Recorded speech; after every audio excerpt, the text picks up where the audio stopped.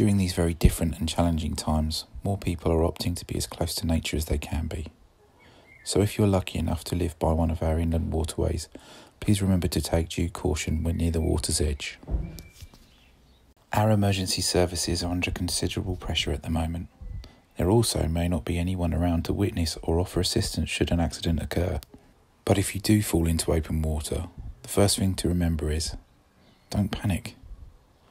You can float on your back until your body becomes accustomed to the temperature of the water. Then look around and find a safe exit point. Enjoy getting out the house, but please stay safe.